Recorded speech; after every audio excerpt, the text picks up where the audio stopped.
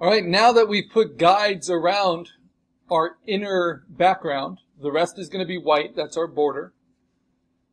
I made a duplicate of it. Here it is. And I'm going to put that duplicate up at normal to 100% opacity. And then just like we can change the colors of our of our text, we can also change the color of our background just using layer styles. We can do a simple single color background. Maybe a light blue. We can gray that out. It's kind of like if it were on a light blue shirt, right? Um, we can play with other effects like satin, like inner glow. We can play with all of these settings. But the most basic way usually that I create a basic digital background is with color overlay, but I set it to about 50%. This is like a color that tones over whatever the background color is, like glazing. And then I'll go to gradient overlay, and I'll use these gradient drop downs and figure out what I want. So maybe because this is kind of a bluish tint, ooh, cloud is interesting. Those are very subtle. Or grays. You can kind of see these different options. That gray is pretty dramatic. Some darker ones. And then, of course, we can modify this completely. So that's a gray that goes to kind of a cool gray. But I can flip it. I can say reverse. So it's darker on the bottom it's a linear gradation at 90%, so it goes straight down. That's pretty nice. I can play with the scale of it. So how subtle or how strong it is. I can also adapt it. I can add any color I want, like right in the middle. Maybe I put something warmer. And of course I can steal the colors right from the image as well. And because our campus colors are green and blue, might make sense to have some, somewhat of a match there. But then this is the thing that students don't usually think to play about, play with. I can play with the blending mode within these layer styles as well. So I can do things like dissolve and then take the opacity down to give it a little bit of that grainy texture. I can do that with color overlay as well. Instead of normal, I can have it as dissolve.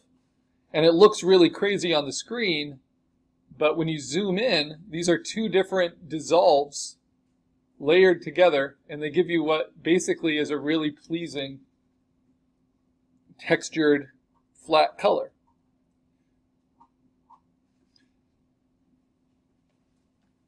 Now, what if I want another gradient on top of that? I can make a duplicate, and then I can turn off all the effects on that duplicate, and use my selection to go within my bounds so I'm not bleeding into my borders. And then this is a, a new tool for us. Instead of using the paint bucket that we use for digital coloring, I can use the gradient tool that's above the paint bucket. And just like the gradient layer style, I can set my gradient right here. Now let's do something really, really crazy. Usually you'll have like a rainbow option here in this newest version of Photoshop, they give us iridescent. And so this gives us some of the, the crazy options, right? So what about something like that? Uh, it's not that interesting. Something with a lot of colors there, but then I can change each of these. And I can always add to them. And I can even play with finding the in-between color of these mess with them in different ways. There we go. Spread them out different ways. Maybe dull, dull this a bit. Okay, so if I like that, now this is what's fun about the gradient tool, is I can paint that as real pixels at any angle I want. So let's try this. And then I can take that opacity down and layer that on top of what I had. And then I can do that again, new layer. It's only going to paint within the areas I've selected. And now I can paint it upside down from a different angle. Maybe this way. Right? And then I can play with opacity there. Or with a different blending mode. So basically, it's like I'm painting a sunset.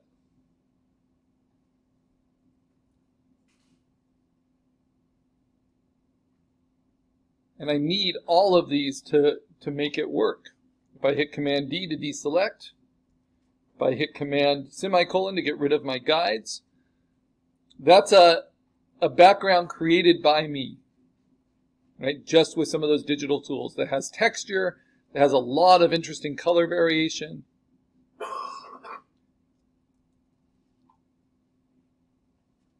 And now I might decide to customize the color of my type to go with that background.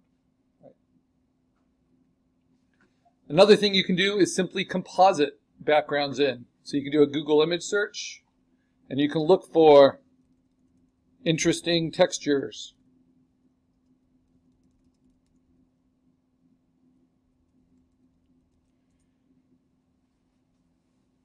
And because they're just going to be used as a texture, like if I wanted to use a sunburst, I can go to tools, I can look at ones that are large and don't have watermarks, right? You can find things like this. I like this site, freepik.com. It's a large image. I'm going to save it. First, I'll check it, make sure it doesn't have any watermarks, looks clean, move it into my assignment folder. Because I might want to use that for other projects. And then I can move it in as a background, stretch it out, hold down shift to distort it. It will lock to my guides. and then I can use different blending modes to let that come in. Like one option would be pin light, which gives me a little bit of that texture into the image. Very subtle. Maybe I duplicate it and then use something like, let's see, Do I want to lighten it or darken it? I like the darken.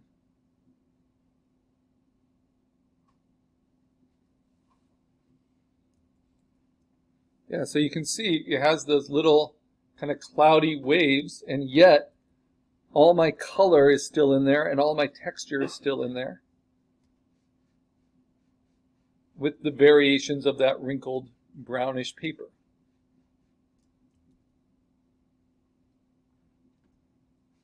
Of course, I can play with the opacity of it as well, decide how much of that I want to come through.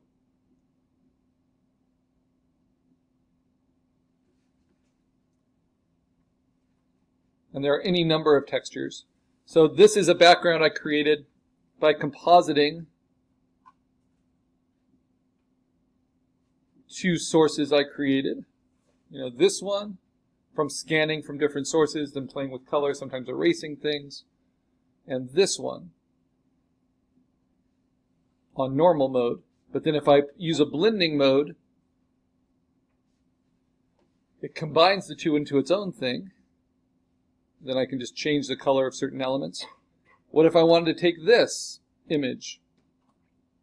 Right? So what I would do is just very quickly flatten it or merge visible.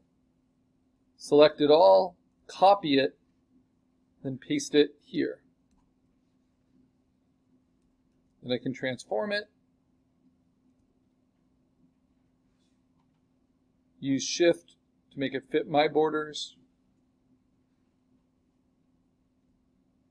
And maybe even go beyond them, depending what I'm looking for.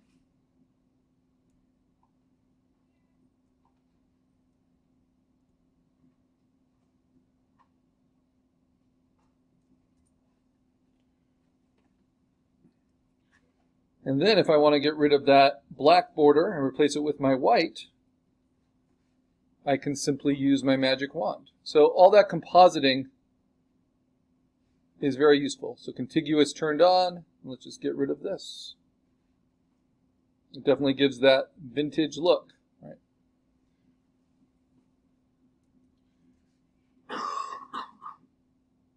Then let's fit it in a little bit better.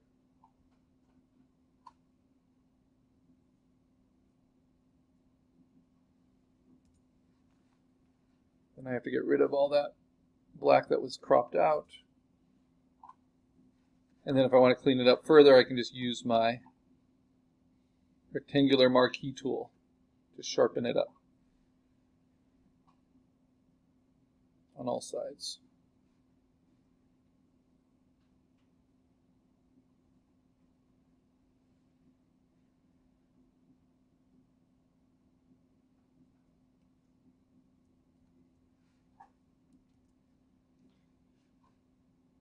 And then like any background,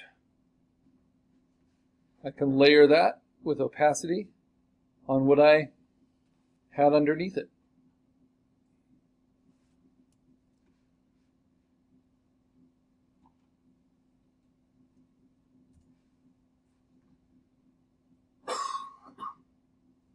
And play with different blending modes as well.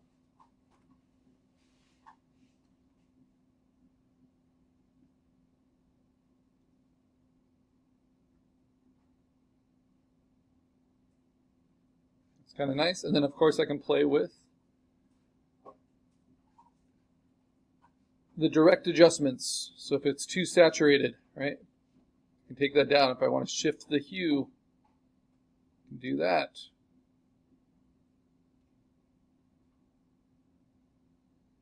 Make it overall brighter or overall lighter.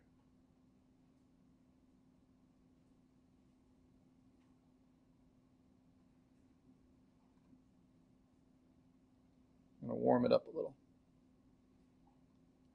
Now all those things are coming together just to give me kind of this old west textury paper feeling.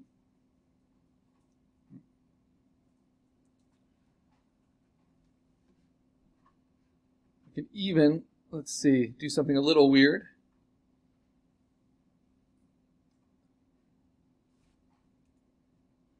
And I'm going to take my my illustration group with the text. I'm going to duplicate it, and then I'm going to merge that group so it's all one flat image. And then I'm going to take that, select with my magic wand, contiguous unchecked, all the empty space. Right? And then I'm going to take that, reverse it, select the inverse, that's all the inside space, and then erase that from that overlay background so it's a little bit brighter. And so then when I put the image on top of it, it will feel to kind of glow out from there.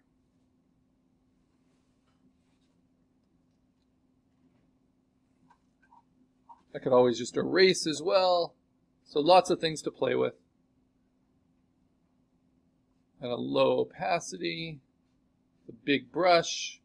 When we do digital painting, the next assignment we'll learn all about customizing brushes. But anywhere I want it to kind of lighten around my type, I can do that in subtle ways.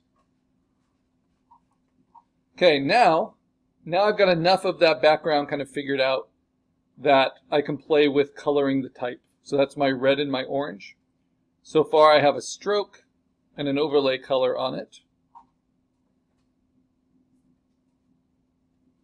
So let's play with that. Let's go back to the effects. Let's give it some texture. I like to use the water options. And then you can play with the scale of that and the depth of it. Make it really small. I can play with the color overlay, dim that down just like I did with the background about 50%. Go to gradient overlays. I can play with different options. Keep it warm. I can play with the stroke.